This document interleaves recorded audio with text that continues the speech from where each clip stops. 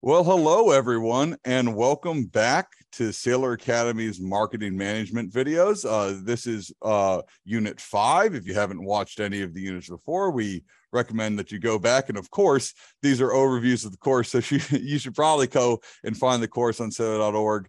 Uh, there's a link below. Um, and of course, if you have any questions as we go along, please feel free to leave them in the chat uh, to the side. Or if you're watching this later, as I know a lot of people do, feel free to uh, leave a uh, comment below and we'll uh, either answer it down there or answer it uh, later. Uh, but I'm just going to go ahead and uh, we got some people waiting here. So why don't we just uh, hand it over and get started? And again, if you have any questions, leave them in the chat and I'll be back when needed, but I'll just hand it over here right now.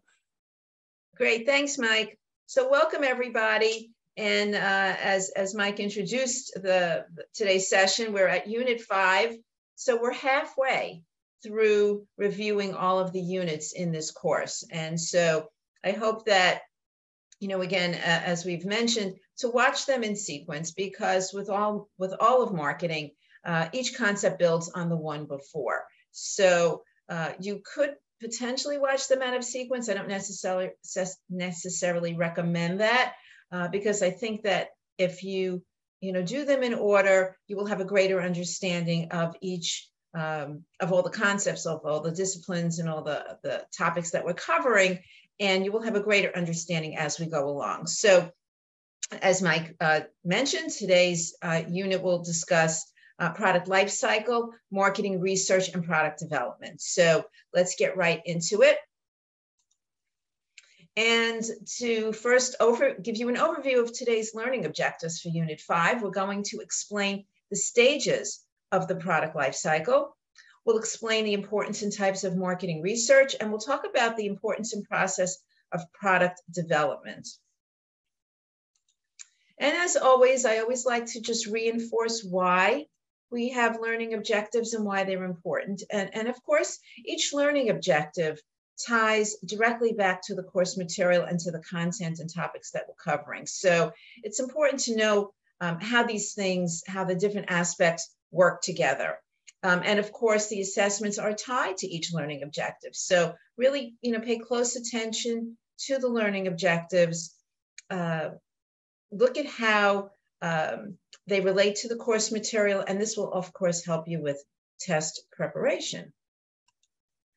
Now, uh, as Mike mentioned, if you have any questions at any point, please make sure that you put them, uh, you know, put them in, and we will get to them. There'll be specific uh, as you know, at this point, designated uh, stops along the way as we review the, the, uh, the unit, and that would be the time for, um, for questions. And I'm happy to answer any of the questions that you have, of course, about this unit, as well as any other units that we have explored so far. So the topics that we will review today uh, we'll cover the Boston Consulting Group, which is a, a, an organization that's, that's widely used for categorizing different products at the different stages of their, of their life cycle. We'll talk about marketing information systems, uh, different types of marketing research, and of course, we'll go in detail over the marketing research process. Uh, and as we know with marketing, and, and, of course with any discipline, the process is very important to have uh, a structure for you to ensure that you're doing the right things, that you're able to uh, uh, do things in the right order, and for some, for there to be a process that's easily understood by everybody who is involved in that area. We will talk about different types of offerings, uh, product development, and, uh, and as well as the product life cycle. And, and these are all such great, interesting topics, and, uh, and I'll be sure to give you examples as, as we go along. So the first thing is we'll explain the stages of the product life cycle. That's the first learning, uh, learning outcome. And within that, we'll talk about how the product life cycle contributes to the marketing process. We'll talk about the characteristics of each stage of the product life cycle. And we'll talk about the elements, as I mentioned, uh, in the Boston Consulting Group matrix. So the product life cycle and the marketing process really go hand in hand.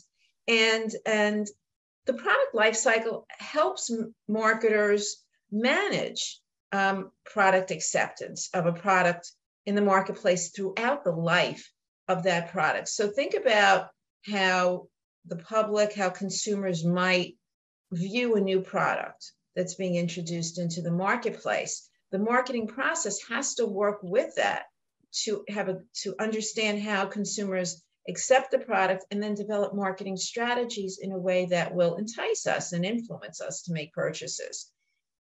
Uh, the each phase of the product life cycle requires a, a, different kind of marketing strategy and we'll talk about this a little bit later and and understanding the market dynamics throughout each phase of of the product life cycle is essential and and as as a product goes through the product life cycle strategies will certainly evolve the market dynamics change uh, consumers accept it the, the product grows sales increase and so on and so as again, as a product goes through the different life cycle, the marketing process will change. And this is what we're talking about here.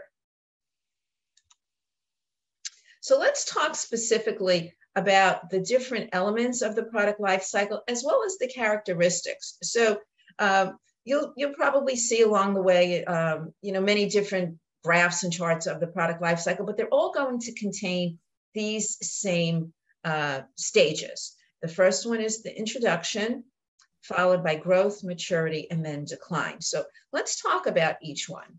So uh, I think for this, I think I'm going to use um, some Apple products as an example of how uh, different products go through the product life cycle. So the first stage, of course, is the introductory stage, the introduction when a product is new to the market. Uh, and generally at this stage, um, it comes out of development and becomes available to the public. And the, the length of this phase could really vary from pro, pro, excuse me, from product to product. Now, generally at this time, sales will be low, profits will be low. And it's at a point of time in time where consumers are really not that familiar with a particular product. So if we go back to uh, you know, the marketing in an introductory stage, generally the marketing is going to be informative. So if we think about what the introduction of, of the iPod was, not the iPad, but the iPod, right? The, when the iPod came out, it was a very new and, and revolutionary way for consumers to get their music. So prior to that, if we go back in history, so we would get our music through a radio, we moved on to uh, to getting uh, you know discs and and other you know technology where the music was already given to us. The iPod was a very new um, development in in personal music and, and personal entertainment because you were able to put onto an iPad an iPod the music that you wanted in the order in which you wanted. If you wanted, you know, three songs from an album, you could do that. In the past, you had to listen to the whole thing. So, explaining this to consumers took a lot of information and a lot of education. So, we had to first kind of understand what that product did. So, sales were low. It was it was a time where um, consumers had to be informed. So, the next stage is growth. The growth is when competition is likely to be high and at the point with the iPod, other companies were starting to come out with, with competitive items and competitive technologies.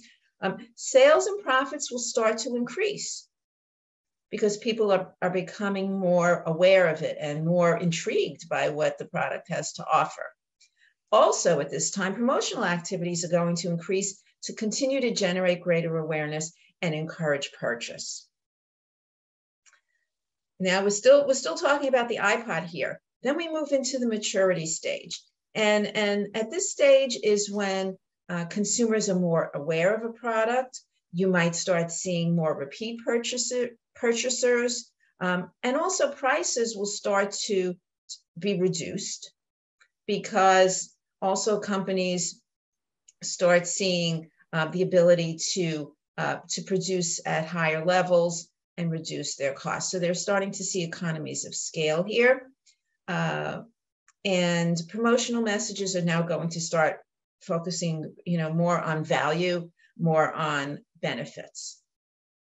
So now let's continue with our conversation about the iPod, which at this point, um, Apple has actually stopped producing the iPod. It's it went into a decline phase, which is when uh, it's really, you know, a product is starting to die out. Uh, technology has advanced. Uh, consumer preferences have changed. Uh, sales will continue to decline, and this is when companies will take the step to start harvesting. You know, get as much as they can out of it. And uh, when sales have completely diminished, uh, they're going to eliminate that entirely. And there's really no need at this point. Technology has advanced to the point where everybody just listens to all of their music through different apps on their phones and other other mobile devices and there's really no need for the ipod anymore so you know i think that this is a good example of seeing a product through the entire product life cycle. Great product initially technology advanced and now it's gone. So uh, so, so think of Yes, Mike. Uh, no, I, I, had, I had a question. This is not from the uh, the chat. I'm just curious from a marketing situ- uh, standpoint. Um, sure. So, would you think like a company, for example, like Apple, when we talk about something like the iPod, which I mean, we think of it's like it then became the iPod Touch and whatever, but in between there, you have like the iPhone and iTunes Music and stuff. Like, do you think when they're looking at product life cycles like this, would it be smart, like in your marketing life cycle, to also think about like, okay, well, by the time the uh, we're at the blue of the maturity of the iPod, we need to have our next thing starting to be in like the green, or else we're gonna like fall behind as like a company talking to people. So that's that's a great question, Mike. Uh, so most companies, and particularly let's talk about if we're using Apple as an example they are constantly looking at new technologies and constantly looking at new product development. So, so while these products are, you know, say with the iPod, the, the i the phones and all those other technologies and other devices were constantly being um, revised, updated, um, improved. You know, and new te- technologies, you know, are constantly going. You know, just because we're like in the maturity stage of iPod all those other things were still being worked on. So, so absolutely. And, and, so, so like, like while they're getting to like the growth stage of like the iPod one, they're already trying to like introduce the like, like they do now. Like here's here's the app, here's the iPhone 12, but also we still have the 11, but it's on the way down. Like they're like rolling through it. I guess. Absolutely, absolutely. Oh, okay. And particularly, particularly, you know, particularly with Apple, uh, which is you know they're constantly innovating. And and you know of course some of the some of the upgrades and innovations that we see we look at and go ah you know not such a big deal. They weren't easy know, to little, market. Right right you know and but people are still lining up at the apple stores you know every time something new comes out even if the improvements or the changes are small and minor. But if we look at from you know from the technologies from the ipod to not even needing it anymore and using you know our phones and, and other mobile devices for our music for our personal entertainment. That was a big leap. But all of that all of that is you know research and development at a company like apple has got to be a fascinating place to work because there's no end to the things that that they can come up and create. And and yes absolutely while while any product most of the time that's going through the product life cycle, the company's already working on what can we do next? What can we introduce? Because if you wait until you get to the decline phase to start innovating, you're already behind the competition. Right. All right. Well, that that was that was great. That that's what I was thinking. I just I couldn't stop thinking it. So I was like, well, I'm on the call. I can ask a question, but absolutely, we can keep going. Now. Absolutely.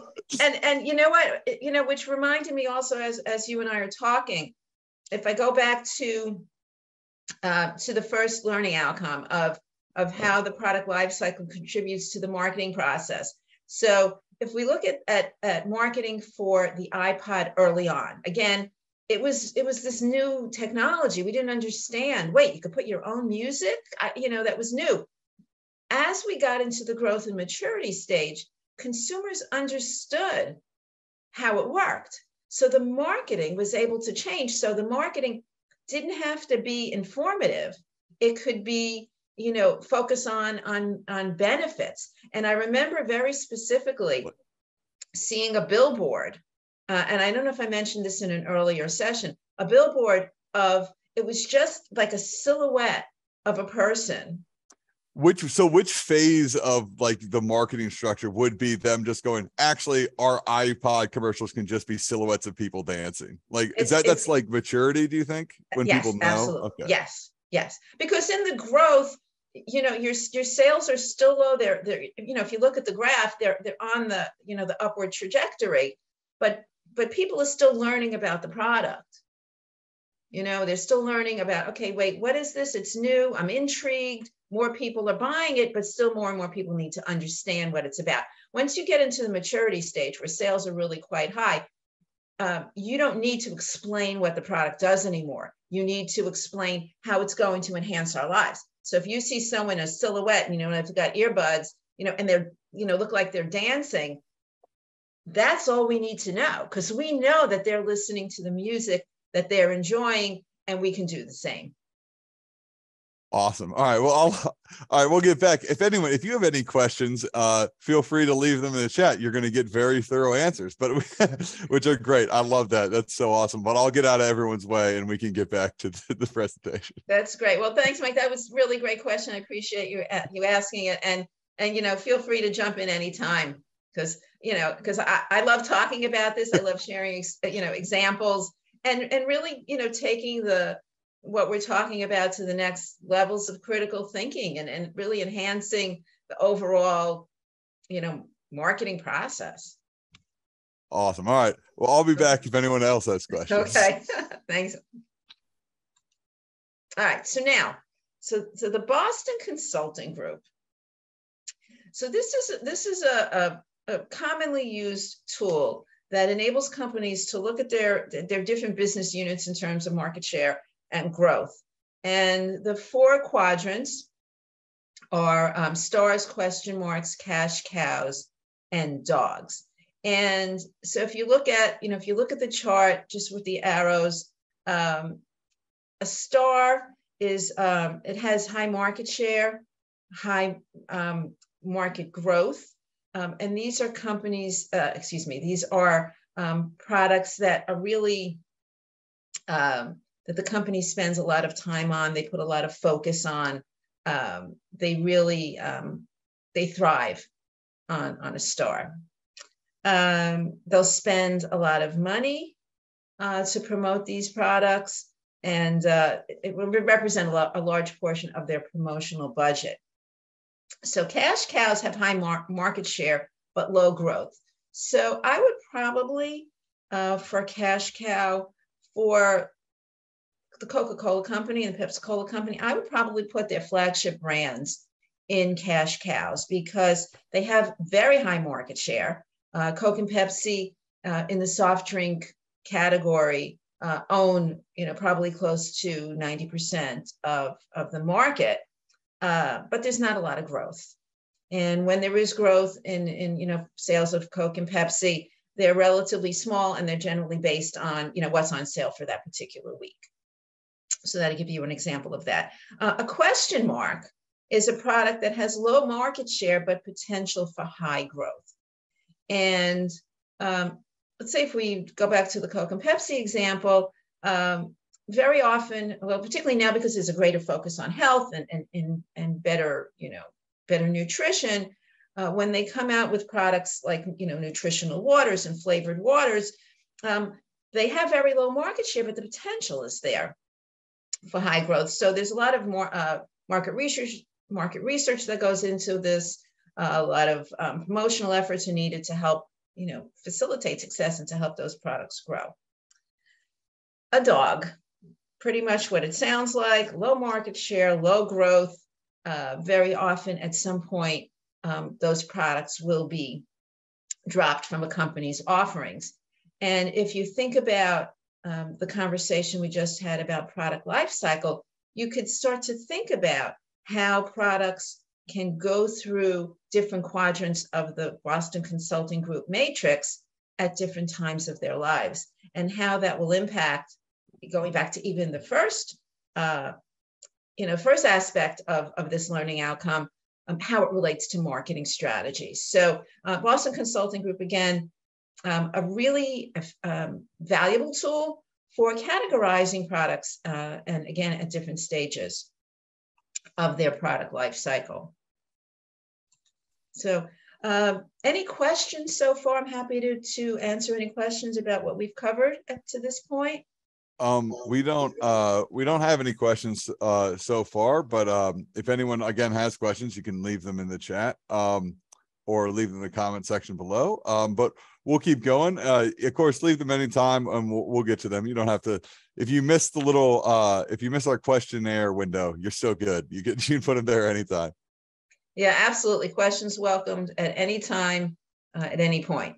So, uh, so learning outcome two to explain the importance and types of marketing research. And the elements that we'll talk about here is the uh, what a marketing information system is. We'll talk about the steps in the market research process. We'll talk about the difference between quantitative research and qualitative research. And we'll talk about the differences between primary research and secondary research. So what is a marketing information system? It's a, it's a, a process that helps companies gather information. It helps companies manage the information about both their internal and external environments. And these systems help companies analyze their data for better decision making. And some of the tools are analytics software, data mining, business intelligence, which all play a role in how companies collect data, how they record data, and how they use the information that's available to them. And basically, the process is first of all, establishing suitable marketing metrics. You can't gather information unless you have the metrics in place by which you'll evaluate the information and which tools are you going to use uh, for that analysis marketing information system also requires you to collect relevant data.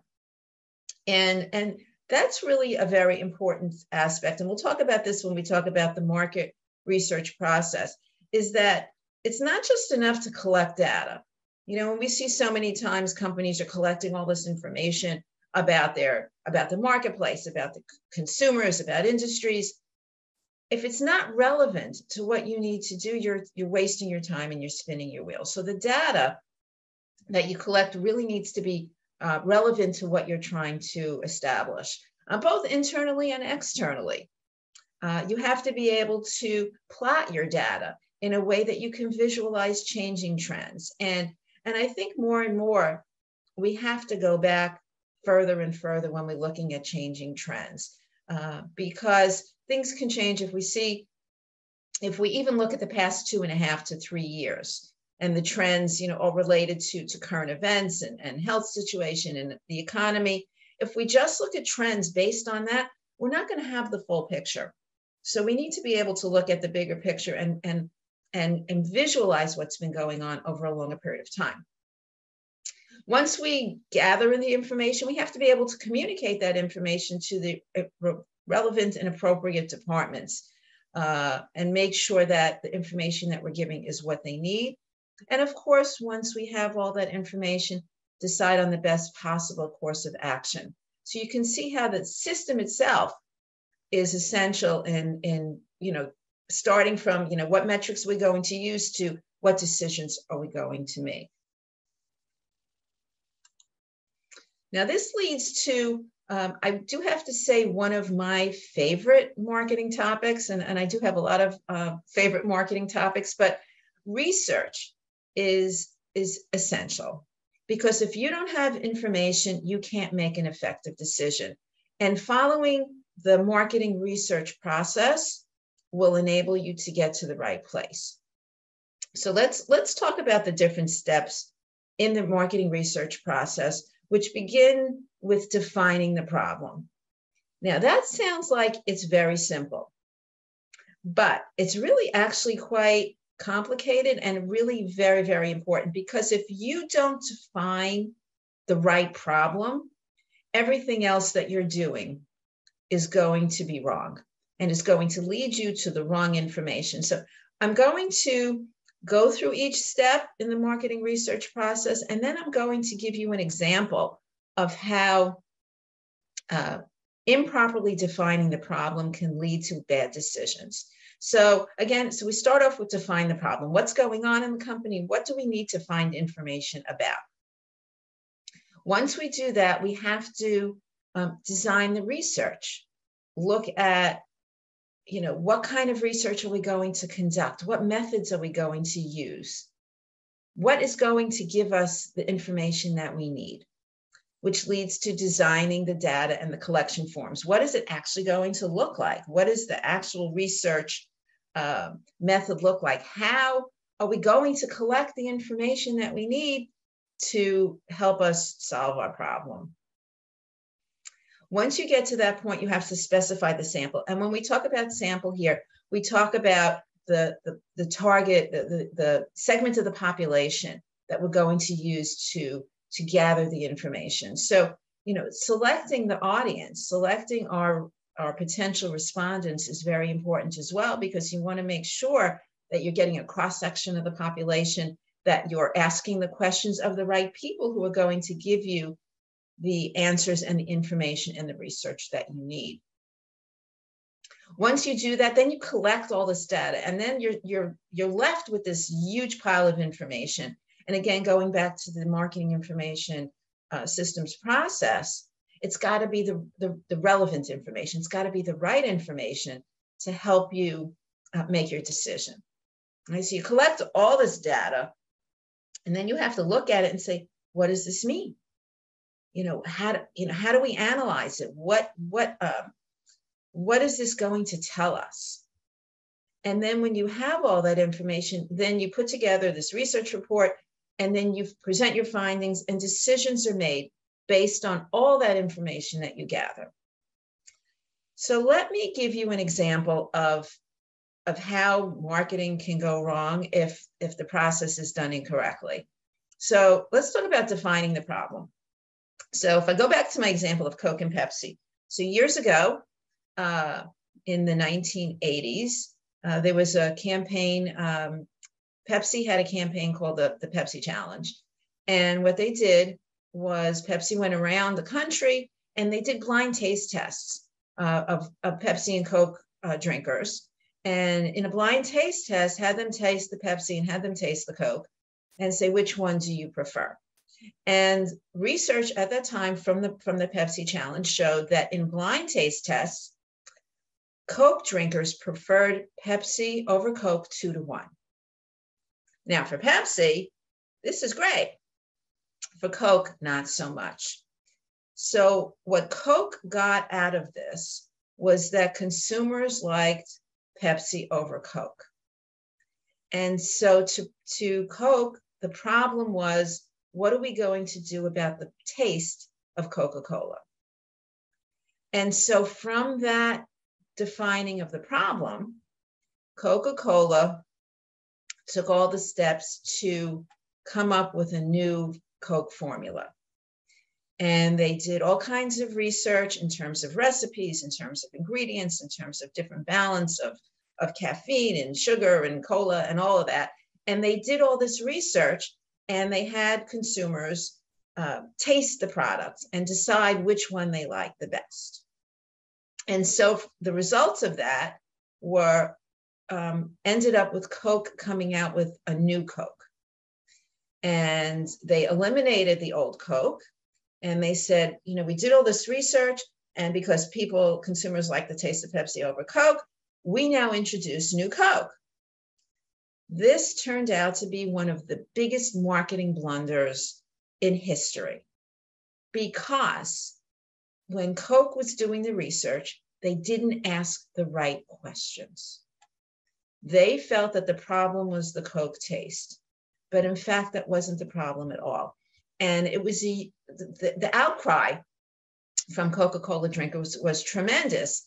And consumers were like, were irate. How could you get rid of Coke? Coke is Americana. Uh, you know, we don't want a new Coke. Bring back, bring back old Coke the response was outrageous.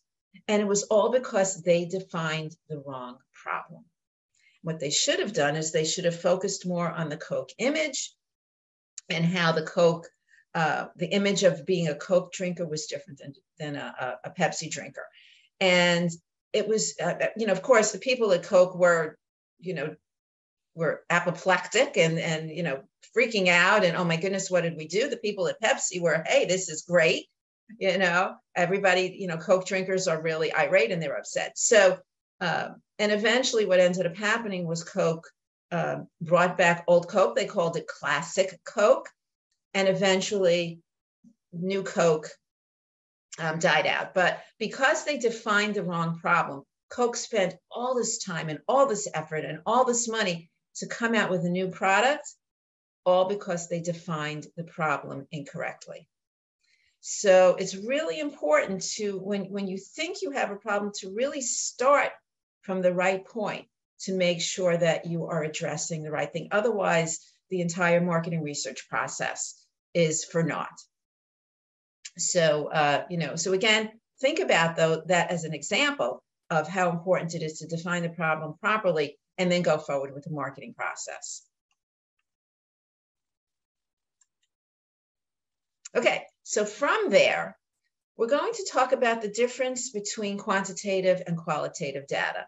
And a very simple way to understand the difference is to think about quantitative being a, a root of the word quantity. And these are factors that you can measure. So uh, how many, how much, um, is it factual?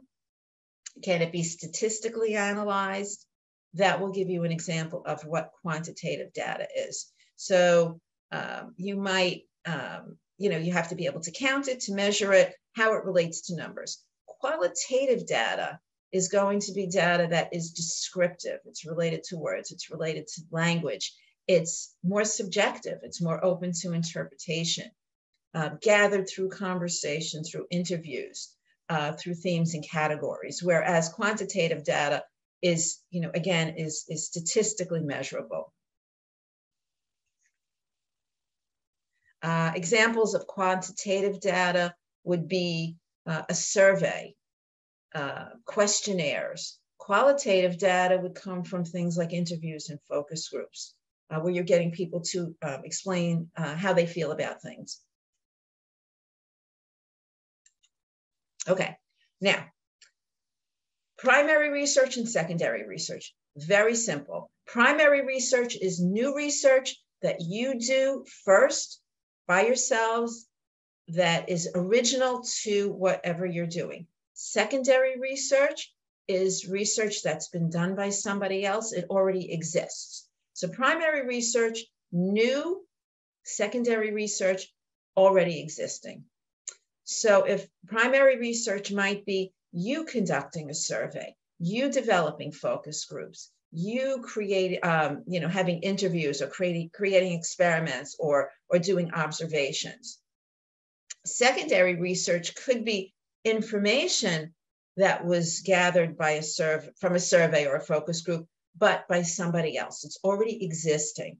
Someone else has done the survey, and you're looking at that survey uh, you know, to answer your questions. Now, they can both be quantitative or qualitative, uh, but there's pros and cons to each. So, primary research, the major uh, benefit of that is that you can design the primary research to be um, specifically focused on what you need and specifically what you uh, want to answer. You can um, control it.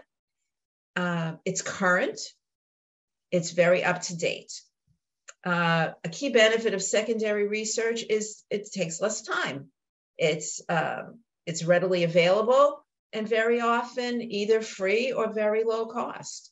Um, a disadvantage of primary research, uh, you know, is that it can be very expensive and it can be very time consuming. Uh, uh, disadvantages of secondary research are that it could be old, it might not relate specifically to your problems, um, and it might not be really exactly what you need. But it's it's always good to do some secondary research first, see what's out there, see what's available. Is there information that that is current? Is it recent? Is it recent? Does it address your specific issues? And um, and then see what second what primary research needs to be done to to fill in. So um, that kind of covers our a section on research. Um, any questions? Mike, anyone has a question for me or for you? Um, well, well, I'll switch over so people say, uh, while well while we wait here and I and I move it over, I found that Coke thing very interesting because I'd always I think the uh the like the you know um what would you call it? The the schoolyard rumor or whatever was that uh Coke came up with new Coke to uh to like reintroduce classic Coke, which is because they saw a sales bump. But it's like, why would you spend all that money to come up with a like a fake product? Like it's obvious they just re- misread the research, right? Like yes. I think so. So you know, so what you said is is very interesting. So without without dating or aging myself, I will tell you that when Coke came out with New Coke, I was working on the Pepsi account at their ad agency. So I had so, sort of like the inside track of what was going on. And it really, it truly was in response to um, to the Pepsi challenge, uh, because the Pepsi challenge was a big threat to to the Coke to Coca Cola, and um, and you know when I talked about how people were reacting and responding to it, I was right there in the trenches with you know with the ad agency for Pepsi, with with with the company, with the client, who said, "Oh my goodness, we can't believe what you know what the, this mistake that Coke made." And there was there were a lot of rumors about you know oh that you know this was um, you know c- kind of a ploy to increase the sale of sale of, of regular Coke. And the truth was they just it, it was just a mistake. It was it was a poor reaction to market conditions at the time. Yeah, I was just looking up because I, I do remember like, and I'm sure this could probably come up in some like if anyone wants to go any further into the research, I do remember they tried to come back in like the 2000s with like they read up the Pepsi challenge. They were trying to like recapture it, but I think maybe from what you just said, like because Coke didn't bite, it didn't quite have like like they didn't bite on the fact that the Pepsi challenge worked when Pepsi tried to do it again. They didn't like try and develop a whole new Coke. so you got to yeah. like understand the data, I think. Yeah, exactly. And also the Pepsi challenge, you know, and that whole campaign, it was of a, of a time. Like it's not, you can't always resurrect an old campaign. I mean, consumers are much more um, savvy and, um, you know, and also, you know, in, in some of my on-site classes, I've actually done the Pepsi challenge, you know, as a, as a sort of an in-class research experiment and I think consumers' palates are much more um, sophisticated now. And most people can tell the difference right away between Coke and Pepsi. And if you're a Coke drinker, um, chances are, at least at this point in time, you're going to know that if you're tasting Coke or tasting Pepsi, which one it is. Um, you know, so the campaign was of a time. Uh, and, um, you know, it, if you if you do research on, you know, the Pepsi challenge, or if you do research on you know, when they introduce new Coke, there's going to be so much information about about what happens. Uh, you know, and it's and you know it is it's kind of hard to find like what really happens, and you know, did they were they really that um, slick in their strategies? And and they they weren't. It was it was just a marketing blunder, and it was a mistake. Yep. And Pepsi never recaptured except for that one time they did a bunch of Bernie Mac commercials. But uh, Why? Uh, and, uh, well, we don't have any questions right now. We we I've vamped here for a while, but uh, you're so nice to even answer my questions. Feel free to leave them in the chat, everybody, or leave a comment, and we'll get to them later. Uh, ha- happy to answer any questions about any any of this at any time. So thanks. Okay, so our um, the last learning outcome for this unit is to describe the importance and process of product development and we'll talk about what actually compromise, excuse me, comprises an offering. And we'll talk about the four categories of consumer offerings. And, and we have touched on some of this in earlier, in earlier units. So offerings are products and services um, that provide value to the customer. They have features and they have benefits. And most of the time, we want to buy benefits right? We don't necessarily always care how something works. We just want to know what it's going to do for us. And again, um, you know, we want to know the answer to the questions, what's in it for me? So, you know, if we're buying a new phone, we don't necessarily care about how it works. We just want to know that it works and we want to know what it's going to do for us. Uh, an offering includes the price, it includes the cost of ownership, and it can be um, a good or a service. So it can be tangible or it can be intangible. But just remember that when we talk about a service, the intangibles um, can't be stored and they're only of value when we use them. So let's talk about, about the different types of consumer offerings and give you a couple of examples of the classification. So the first one is we'll, we'll talk about a convenience product. And these are products that we consume, that we, that we purchase um, with minimal effort. Uh, we generally don't see a great deal of difference between brands. Uh, so things like bread or milk or candy are things that we, we buy on a regular basis. And for the most part, don't see a huge difference uh, between one brand and another. Um, you know, I think I would also put orange juice in this category. And while, you know, if you've been to the supermarket recently and you see, you go to the orange juice aisle and there's so many brands, the differences aren't really that significant. Uh, we will take a little bit more time though when we're looking to select a brand that we would consider a shopping product. So we might do a little bit of research. Uh, we might visit different retail locations, and we're probably going to read product reviews before we make a purchase. And, and generally, I would say toothpaste, uh, laundry detergent, I would consider shopping offerings because we're going to take a little bit more time in researching what each of these products has to offer. Uh, let's move on to specialty products. And these and specialty products really vary um, greatly from competition. And generally, different brands are going to spend a lot of time trying to distinguish them, distinguish themselves from the competition in ways that are going to appeal to their individual target markets.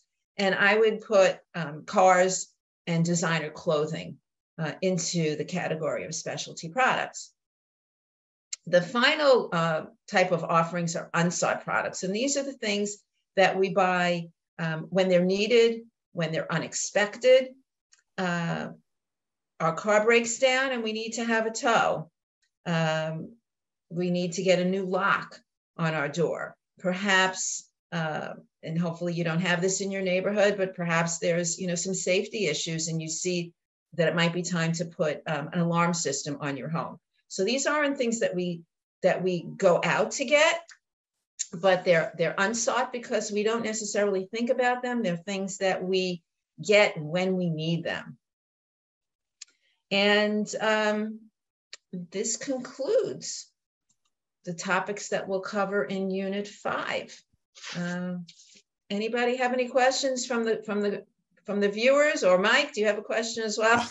I well, I feel like I've talked far too much. Um, but um, we'll give everyone a chance here to uh, to ask any questions. You know, sometimes, you know, uh, we have delays, things take a while. So that's why I try and fill with my nonsense for a little bit. But um, everyone, thanks for joining us as always. Of course, thank you so much from take for taking us through all of this. Um, uh, we will be recorded next week, I believe. Yes. So, uh, so uh, again, if you have any questions, I mean, we won't be able to answer the next week, but leave comments on next week's video, leave comments on this video, leave us a chat now. Uh, we, we love answering your questions. This is all to help people uh, get through uh, Saylor's MBA uh, 602 course, marketing management. So we're here to try and help you guys with any questions you might have. So certainly feel free uh, to put them in the chat now or in the comments later. But I just want to thank everyone for joining us.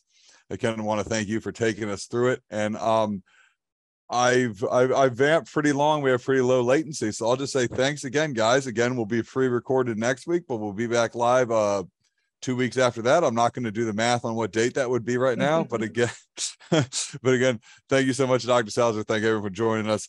Um, and we will see you guys in a couple weeks. Thank you, everyone. Bye bye.